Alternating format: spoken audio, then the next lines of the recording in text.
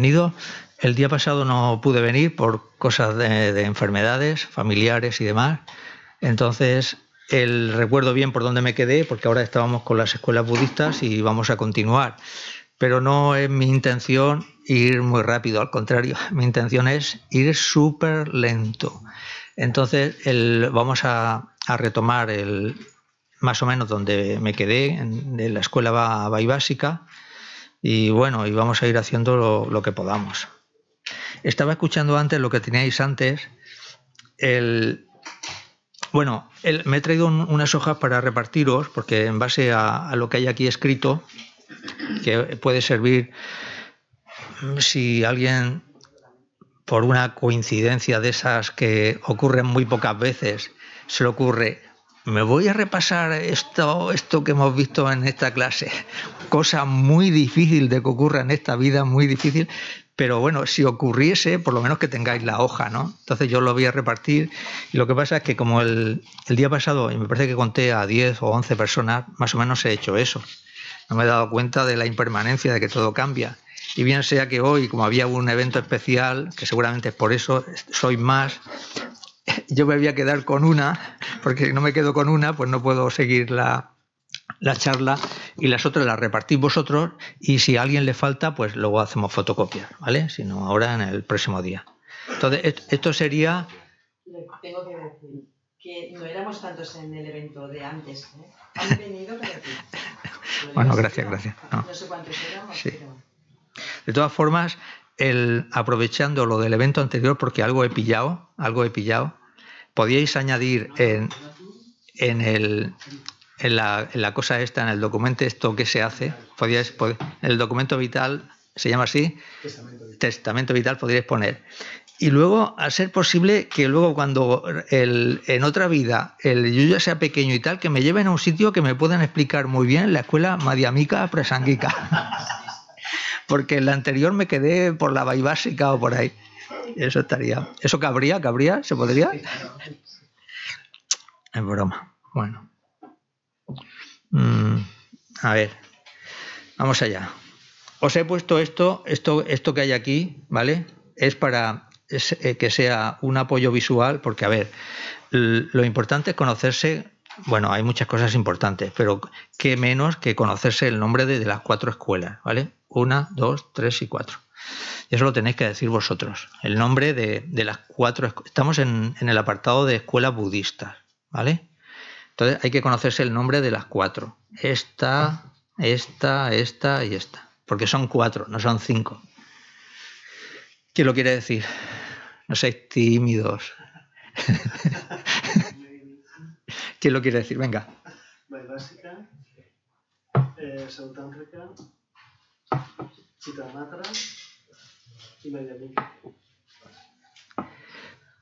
Perfecto. ¿Dónde está la escuela Madhyamika Prasangika? Está dentro de la Madhyamika. Vamos a ver. Aquí está, ¿no? Entonces, esta, la Madhyamika, se divide. Madhyamika es Vatántrica, que tiene un nombre así tiene un nombre para nosotros raro, ¿no? Pero tiene su significado y Madhyamika Prasanguika, que es esta la más chiquitina de todas.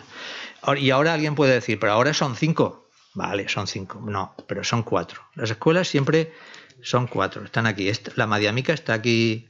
Siempre ha sido Madhyamika Svatántrica y luego a lo largo de los siglos apareció la Madhyamika Prasanguika.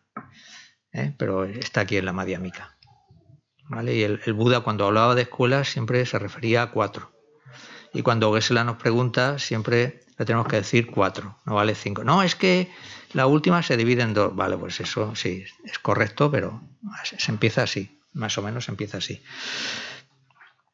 Eso, esto es muy importante conocerse los nombres. Además, tienen que ser eh, los nombres por orden, porque aquí en otras ocasiones tú puedes decir cosas y si lo dices desordenado pues no pasa nada, pero aquí interesa que sea por orden, porque esta se supone que es la inicial, la no en, cuanto a la cuestión del tiempo, ¿eh? la, cuestión de la cronología aquí no funciona, no funciona, el, eso ya lo vimos el día pasado, ¿no? El, no funciona. Primero en el tiempo fue esta, luego la otra. Están como combinadas en, en una misma época.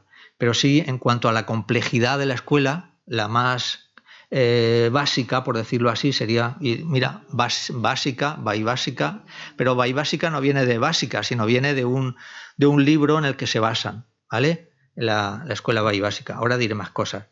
La sautántrica, estos formarían un equipo, el, dentro del vehículo Hinayana, estarían estas dos, les pongo aquí para que la gente de esta parte también lo vea, así, y estas serían Mahayanas, la Chitamatra y la Madhyamika. Es importante que lo sepáis. Bueno, tenéis la hoja, ¿no? ¿Vale? ¿A, quién le falta? ¿Le falta alguien? Vale, pues luego la hacemos. te puedes, vale, te apoyas en esa. Vale, ahí tenéis el nombre de las escuelas, ya las hemos dicho, lo pasamos. Escuela Hinayana, lo que acabo de comentar, las del vehículo a ver, el vehículo inferior, pero siempre se dice así, pero ya sabéis que no hay que hacerlo con el sentido peyorativo, sino como el vehículo básico también, o el vehículo inicial. Y el Dalai Lama siempre lo llama las de... Eh, mm, ¿Cómo? Pali. Sí, la de la... Sí, gracias. La de la tradición Pali, ¿vale? Que son eh, básica y Sautántrica. Y luego las del vehículo Mahayana, que son estas dos, también se llaman de la tradición sánscrita, del sánscrito, ¿no? ¿Vale? Bueno, ya las tenemos. Luego hay otro apartado que sería ver si cuáles son escuelas realistas, cuáles son escuelas idealistas y cuáles son del camino medio. ¿De acuerdo? Entonces, decimos que escuelas realistas correspondería a la básica y a la sautántrica, y aquí me paro, porque quiero que lo entendáis bien. Eh, ¿Qué, se quiere decir con escuela realista? ¿Qué, se, quiere decir con realista? ¿Es que acaso la chitamatra y la madhyamika no son realistas? Pero bueno, en estas, la vaibásica y la sautántrica, ¿qué significa que son realistas? Eso es importante. real, ¿no? Lo que lo captamos, ¿no? Sí. El, para ellas, para las escuelas realistas, hay una parte de los fenómenos, hay una parte de los fenómenos que es real, que existe. ¿Vale? Mm. ¿Qué parte de los fenómenos? Pues todo lo que son lo que nosotros consideramos como forma, ¿vale? Forma, sonido, todos estos elementos, ellos lo consideran que eso es real. En lo único que dicen, bueno, mm, donde ya no aseguramos que hay realidad es en la concepción de la persona. ¿Vale? La concepción de la persona no. No consideran que sea una cosa real, pero lo demás sí, porque ellos dicen, los objetos, las casas, los coches, los animales, el etcétera, etcétera, todo eso él tiene es, real. ¿Y por qué? Porque al final, para ellos, tanto para la escuela eh, básica como para la escuela sautántrica, al final de todo siempre hay unas partículas muy pequeñas que son lo que lo componen, que son los constituyentes de los fenómenos. Entonces dice, no podemos decir que no sea real, porque si tú, y antes no tenían microscopios ni nada, pero si vamos separando este objeto, al final hay unas partículas pequeñitas que ya no se pueden dividir más, que es lo que dicen estas escuelas, ya no se pueden dividir más, son indivisibles, entonces eso forma, cuando se juntan, eso forman lo que serían los objetos burdos, los fenómenos. Por eso se llama realista, una escuela realista. Otra forma también de explicar lo que sería el realismo es, dijimos, a ver si os acordáis, dijimos que para que una conciencia se active se necesitan tres requisitos. Marco con el dedo una cosa, que significa un requisito, que es el objeto. Vale, entonces, el, la siguiente cosa. El poder sensorial. El poder sensorial, ok y la conciencia. ¿Vale? Tres cosas para que se active la conciencia. Pero hemos dicho la primera, el objeto. Entonces las escuelas realistas dicen, además mm, con mucho énfasis, tiene que haber un objeto ahí fuera para que se active la conciencia. ¿Me explico? Digo ahí fuera para contrarrestarlo, porque hoy no nos da tiempo, no sé si en algún momento de nuestra vida nos dará tiempo para ver la escuela Chitamatra, porque la escuela Chitamatra va a refutar eso. Ya no va a decir, ahí fuera no hay nada, a no ser, a no ser, o por no ser, o si no es debido a que surge de la mente. Pero las escuelas realistas dicen, sí, el objeto está ahí fuera esperando, esperándote, a que lo mires, a que el sonido te llegue, etcétera, etcétera. Eso es un concepto que interesa que lo manejéis bien el realismo. Y luego viene la escuela idealista, que sería esta, no por el color, la ha tocado rojo, pero esta sería la escuela Chitamatra, una escuela muy compleja, muy profunda, muy interesante. Y esta se va, tenemos el bloque, si nos ponemos en el lado de la filosofía, por una parte estarían, que en la filosofía occidental también está así, eh, pensadores que son realistas, y luego pensadores que son idealistas. Entonces, en las escuelas budistas también funciona esto de, idealismo. ¿Qué significa? ¿Qué entendéis vosotros por idealismo?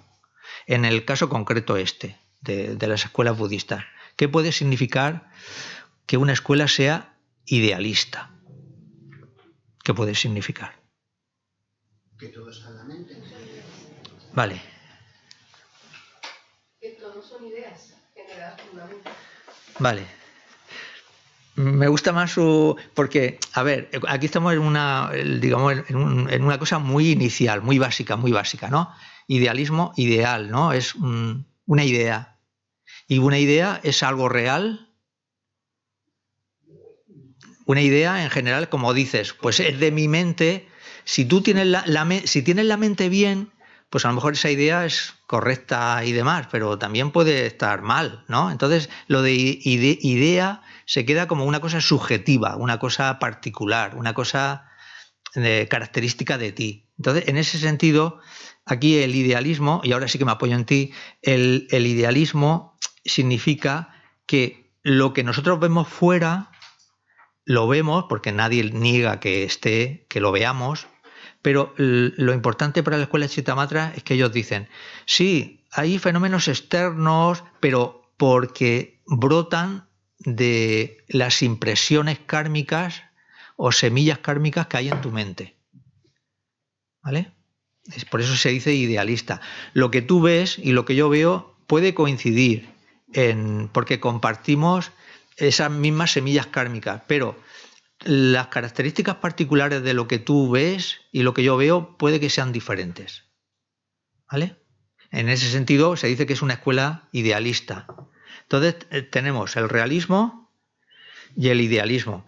Los idealistas, la escuela Chitamatra diría, el objeto no está ahí fuera esperándote a que tú lo mires. El objeto tú lo ves al mismo tiempo que brota de la maduración de la semilla kármica que hay en tu mente. Si tú ves una silla es porque ha brotado una semilla kármica en tu mente que tiene esa característica de silla y al mismo tiempo que brota la ves. ¿Me explico? Una vez que la has visto, ellos admiten que ese fenómeno está ahí, pero no dicen está ahí afuera existiendo por su propio lado, sino que ha, ha surgido de la mente. ¿Se entiende?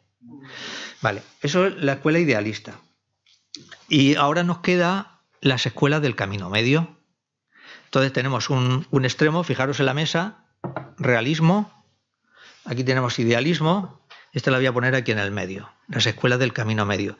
Digamos, se ha preparado el terreno para que vengan las escuelas del camino medio.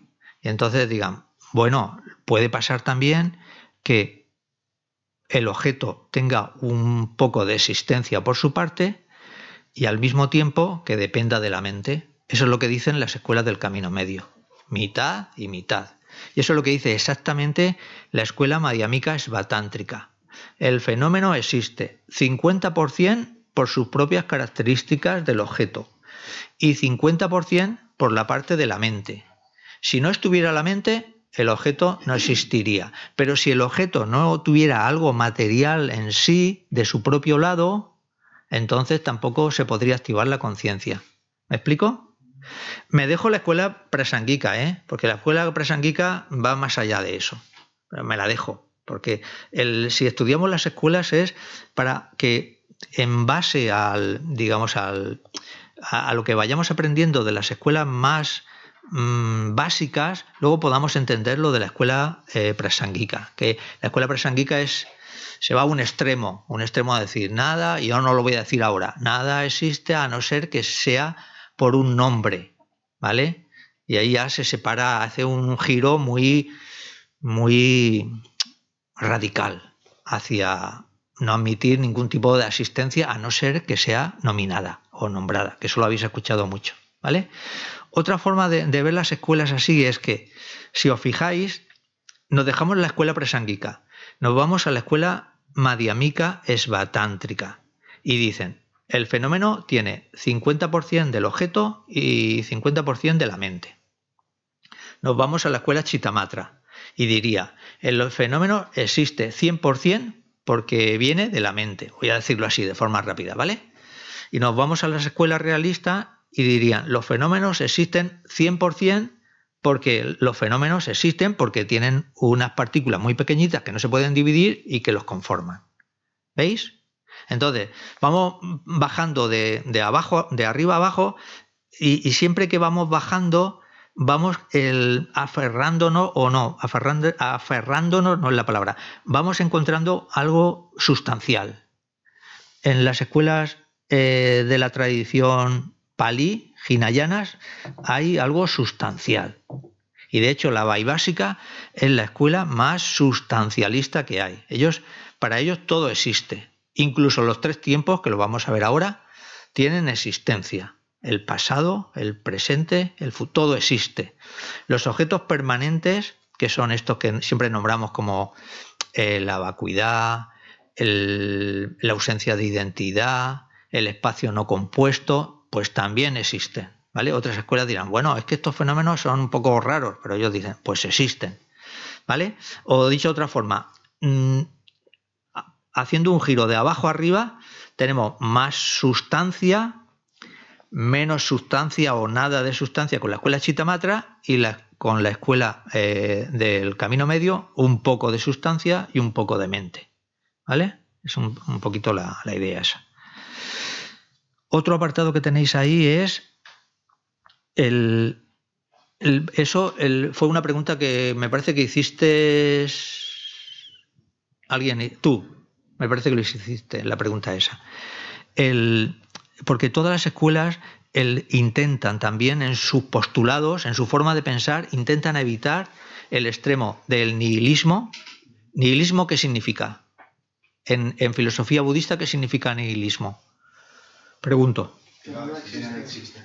Vale. ¿Y eternalismo? Que todo existe, todo permanentemente. Vale. Eternalismo es eso. Materialismo. Me he equivocado, porque estoy mirando la hoja. ¿Qué escuelas evitan los extremos del eternalismo? Y me tengo que poner nihilismo. Ponerlo vosotros. Existencialismo es lo mismo que eternalismo.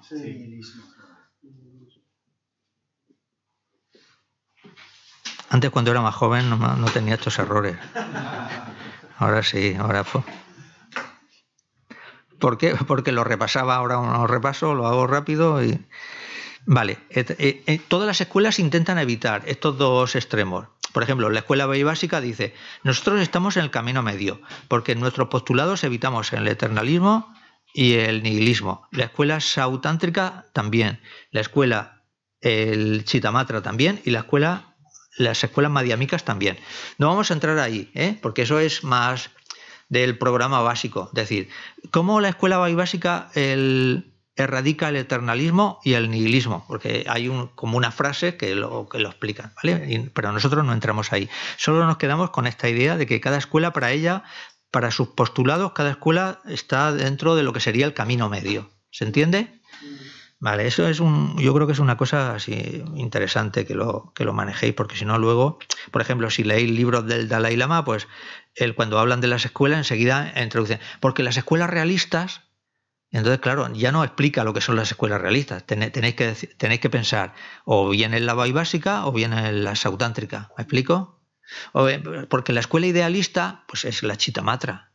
¿Vale? La, escuela del camino es un poco, porque claro, esto es un, un, nivel como así muy básico, pero en base a eso, cuando tú vas leyendo y vas eh, ampliando información, pues claro, si no conoces esto, pues al final tampoco le saca mucho partido, creo yo.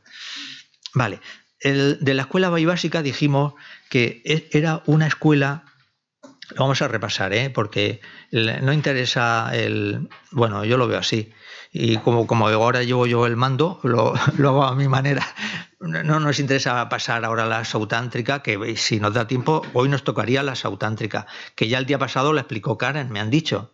¿no? Pero, pero bueno, el, el, aquí la idea es ir cogiendo base. ¿De acuerdo? Porque yo podría explicar todas las escuelas ahora en 20 minutos, pero ¿de qué serviría? Pues a lo mejor de poca cosa. Para algunos sí, pero para otros no. Mm, ¿Qué os iba a decir? De la escuela básica. E, esta es la escuela inicial y para que os hagáis una idea de su complejidad, ella tiene dentro de sí tiene 18 subescuelas. Entonces, los que los eruditos, las personas que hicieron todo este apartado de postulados o drusta, ellos dijeron, bueno, el de todo lo que hay, que es un montón de cosas escritas, me voy a quedar con una parte. Y en base a esa parte yo voy a considerar que todos los demás más o menos están de acuerdo dentro de la, escuela, de la escuela básica. ¿Me explico? La escuela básica tiene tantas componentes que nosotros vamos a estudiar pues, la parte que nos ha llegado, digamos, la parte que este estudioso ha, decidido que lo representativo de la escuela básica es lo que vamos a ver más o menos ahora, pero que hay mucho más. ¿Me explico? De hecho, se dice que ahora mismo, desde hace unos años, se han encontrado muchos más textos de la escuela básica que a lo mejor eh, se podrían enriquecerla más de lo que nosotros en principio estudiamos. ¿Me explico? Dentro del, del programa básico y de Drusta. ¿vale? Mm, dijimos que eran seguidores del vehículo Hinayana que no aceptaban, bueno, lo de seguidores del vehículo Hinayana queda claro, ¿no? sigue la tradición palí. La tradición palí es la, primera tradición de, digamos, las enseñanzas clásicas del Buda.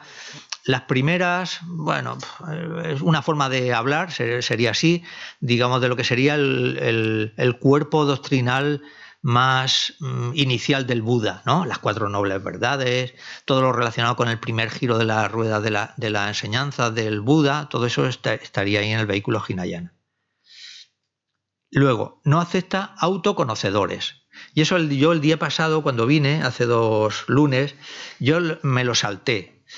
Y por, porque era como un poco, no complicado, pero era como un tema muy técnico, ¿no? Pero claro, es necesario conocerlo porque todas las escuelas, menos la básica y la prasanguica, la madhyamika prasanguica, todas aceptan el autoconocedor y solo la básica y la madhyamika esvatántrica, perdón, la madhyamika prasanguica no lo acepta. ¿Vale? Como si luego nos da tiempo y vemos la sautántrica, veremos que ellos dicen, la escuela sautántrica dice, somos una escuela del vehículo Hinayana y aceptamos los autoconocedores. Y ahora yo os pregunto, autoconocedor, ¿cómo se explica en la filosofía budista lo que es el autoconocedor? Es una pregunta del programa básico, lo sé, ¿vale? Pero yo lo pregunto a vosotros. Y es una pregunta del programa básico de los que ya han hecho el examen final y lo han aprobado. y, luego le pregunta, ¿y qué es el autoconocedor? Y se te quedan así. Pues, tierra trágame, ¿no? ¿Qué es el que os suena con autoconocedor?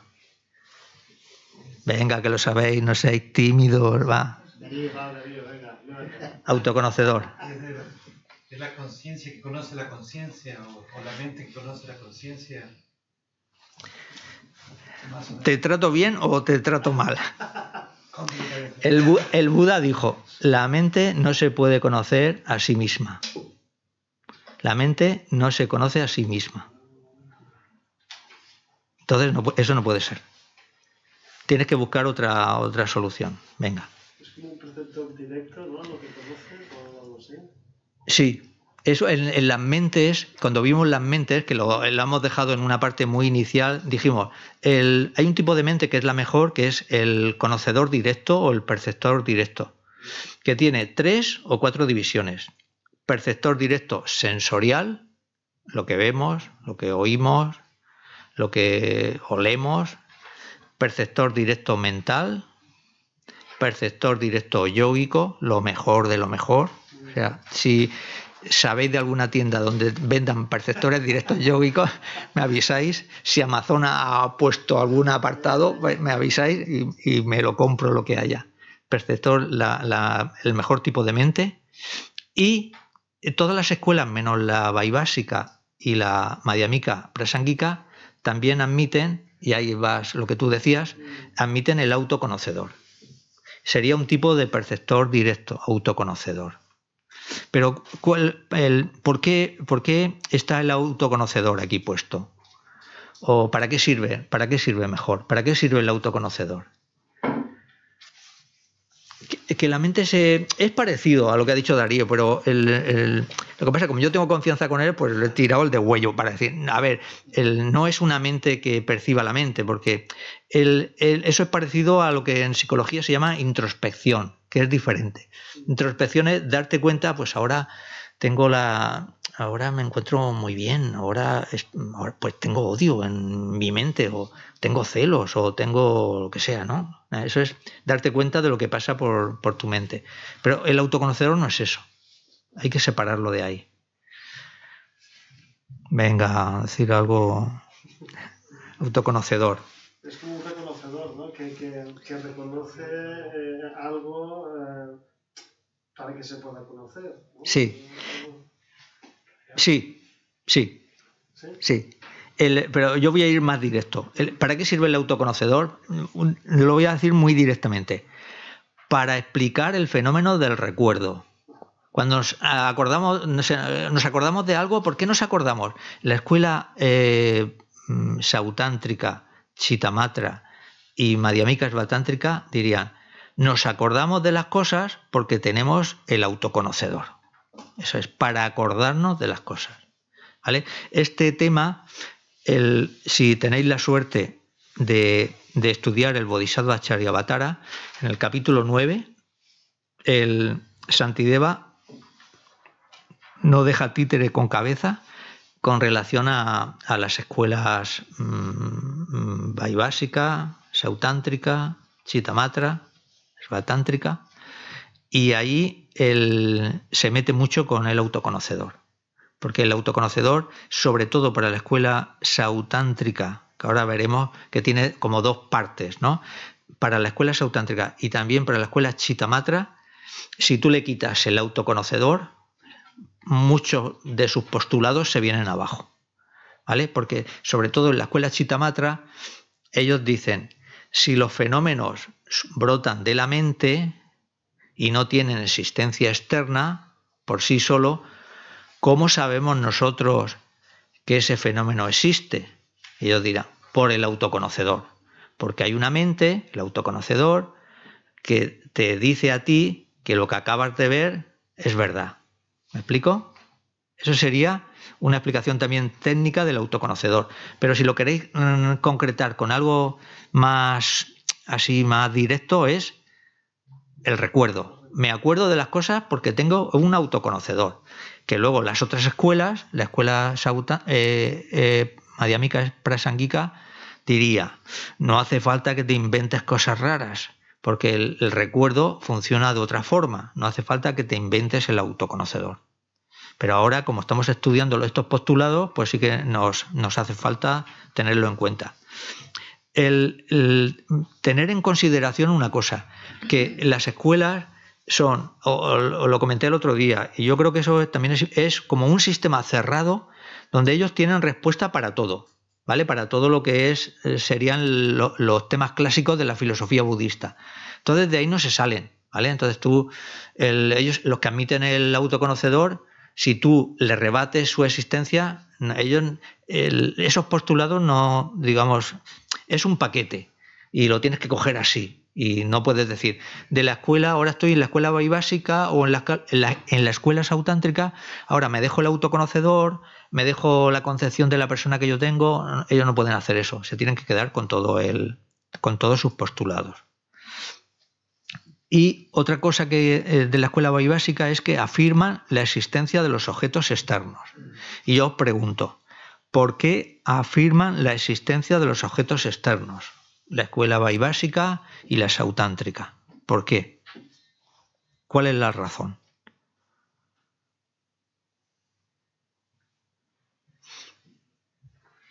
Porque ellos dicen de que tiene que haber algo por parte del objeto. Muy bien, ¿no? muy bien.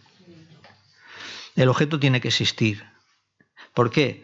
Porque tiene partes muy pequeñitas que el, que se pueden separar, se pueden separar, y llega un momento en que ya no se separan más. Entonces luego, cuando se reúnen las condiciones, se juntan y forman los objetos que nosotros conocemos, los objetos burdos. ¿Vale? La persona con los agregados, que son cinco, los objetos así más materiales de la forma, pues tienen ahí sustancias, unas sustancias pequeñitas, luego se juntan con otras que tienen un nombre, luego con otras, forman conglomerados y forman el objeto. Es el, por eso dicen que los objetos externos existen. Y es como decíamos antes, el objeto externo está ahí, está ahí fuera. Y es el que sirve de, de, de estímulo para que impresione el poder sensorial y de ahí surja la conciencia. ¿Vale? Bueno, seguimos. De la escuela básica, otra cosa que, el, el, que, que nombran es ¿Cómo dividen los fenómenos? Y en esto coinciden todas las escuelas, ¿vale? De manera que esto sirve para todas. Los dividen en fenómenos impermanentes y fenómenos permanentes. Venga, ahora quiero un ejemplo de un fenómeno impermanente. Fe vale. ¿Por qué? Porque se puede dividir en partes. Vale. Y está cambiando. Y está cambiando. Yo no lo veo que cambia, ¿eh? pero está cambiando, está cambiando. De hecho, cuando el, tienes que ser mayor para darte cuenta, tú tienes una cosa de hace, de, de cuando eras pequeño, madre mía, pues es una cosa física como se ha ido deteriorando tanto, ¿no? El, o eh, coge fruta de, de ahí de... Yo voy mucho a comprar a... No es publicidad, ¿eh? A Consum, ¿no? Pero bueno, da igual.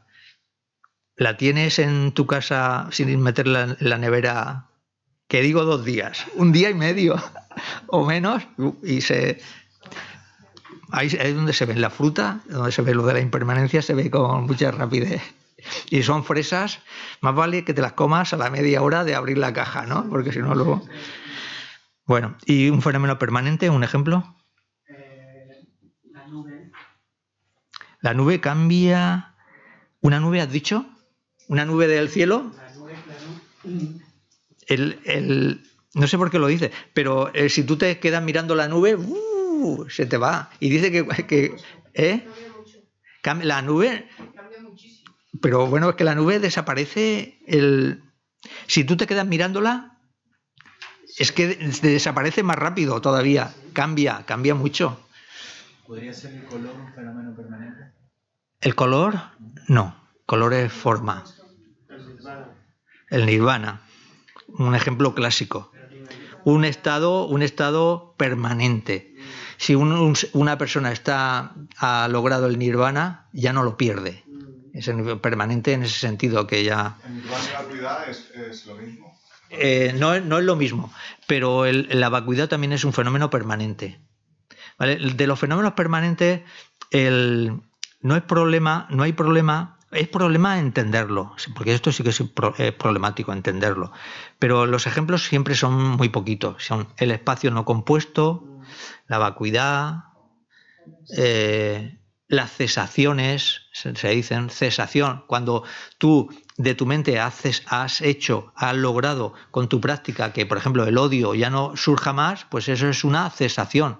Y eso es permanente. Significa que el odio ya no va a aparecer más en tu mente, porque ya has acabado con él, ¿vale? A eso se refiere el- lo de permanente. Y luego ese permanente también es muy importante, como por ejemplo, luego cuando veamos la noción de la persona, que decimos, la persona no puede ser eh, permanente, y entonces el permanente significa que no cambia. Por ejemplo, nosotros como personas individuales que somos, decir que no cambiamos, pues es una tontería, ¿no? Porque bueno, nosotros mismos nos damos cuenta, ¿no? Es, no puede ser, es una idea errónea. Eh, vamos a, seguimos avanzando. Verdad convencional. El, fijaros que en, en, en todos los postulados siempre ellos tienen como eh, clasifican todos los fenómenos, hablan de la verdad convencional, hablan de la verdad última, hablan de lo en lo que hay que meditar. Entonces, todo esto son, digamos, apartados que siempre están en, todos los postulados. Lo que pasa es que cada escuela los explica de una manera. Verdad convencional dice: la mente deja de funcionar al separarse algo en partes. Ejemplo: vaso, casa. Si el vaso se cae y se rompe, pues ya no hay vaso tienes que ir a comprar otro. Podéis ir a otro sitio aparte de Consume, a, otro, otra tienda, a comprar otro vaso. Es el verdad convencional lo ven así, ¿no? El, lo que está establecido físicamente, pues si, si, se altera, si se rompe, pues entonces tu mente ya no, ya no lo percibe. Es un. Si os fijáis, es que a ver, en las escuelas, si tú vas viendo, por ejemplo, todas las definiciones de verdad convencional, eh, escuela por escuela, Que se puede hacer más adelante en el programa básico, os invito a que lo hagáis. Entonces os dais cuenta de cómo, por ejemplo, aquí, si os fijáis, en la mente interviene, pero interviene muy poquito. Porque dice, la mente deja de funcionar cuando el objeto se rompe, por decirlo así, ¿no? Pero luego en, en, otras escuelas veréis como la mente es más importante en, a la hora de explicar la verdad convencional y la verdad última. Nos vamos a la verdad última. Dice, la mente no deja de existir cuando algo se separa en partes. Ejemplo.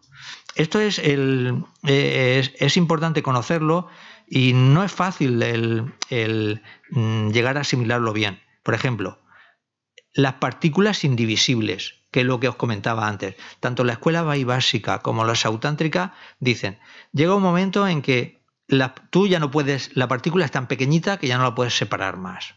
Entonces, pues eso sería una verdad última. Fijaros la idea, verdad última. ¿Por qué?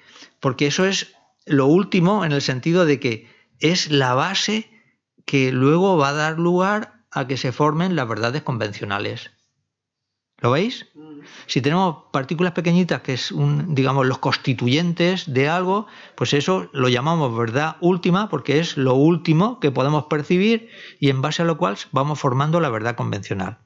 El espacio no compuesto, esto es un tema difícil de explicar, es también verdad última para casi todas las escuelas, para casi todas las escuelas, y es la explicación del espacio no compuesto es nosotros nos manejamos y nos movemos por el espacio porque hay un espacio no compuesto. Digamos, hay una capacidad de de que nosotros estamos en un sitio y ocupamos un lugar, un espacio, pero si nos vamos, ese lugar se queda libre, ese espacio se queda libre y eso es lo que ellos llaman espacio no compuesto. Es una cosa complicada, un poquito complicada de entender, pero se dice, si tú entiendes el espacio no compuesto, tienes facilidad o tendrás facilidad para entender lo que sería la vacuidad porque ambos, el espacio no compuesto y la vacuidad, son fenómenos negativos no afirmativos. Eso es de la escuela sautántrica, que si nos da tiempo lo veremos, y si no, no. Otro apartado, los tres tiempos, pasado, presente y futuro, están sustancialmente establecidos. Y aquí es donde se ve este, esta mmm, cuestión de la sustancialidad de la escuela básica. Para ellos todo existe. Porque a nosotros si nos preguntamos, ¿el pasado existe? Pregunto, ¿el pasado existe? Podemos decir, a ver, sí, me acuerdo del pasado, cuando yo era pequeño, pero en general también de decimos, el pasado no existe, ¿no? Porque ya ha pasado, ¿no? Podemos decir eso, ¿no? ¿Y el futuro existe? Decimos, no, porque el futuro tiene que venir, ¿no? Está por hacerse todavía, ¿no? Tampoco. ¿Qué es lo que existe? El presente. ¿no? Pero la escuela básica, como es tan para, para ella existe todo, te dicen el pasado existe y el futuro existe y el presente existe. No me atrevo, pero igual sí.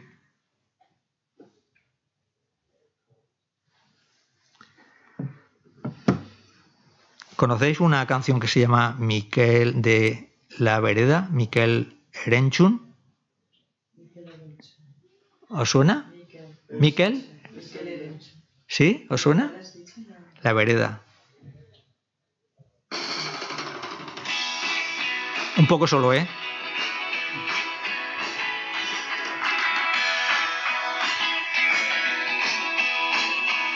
Son dos minutos, ¿eh? Podéis relajar.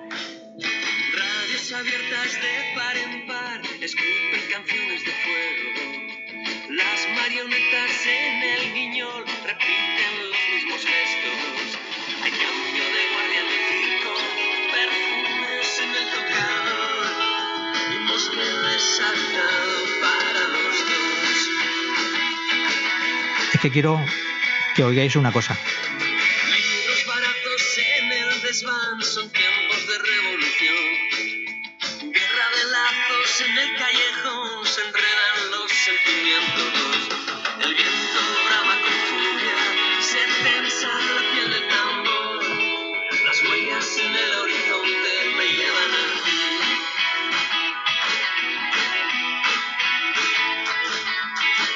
Después de esta pongo otra.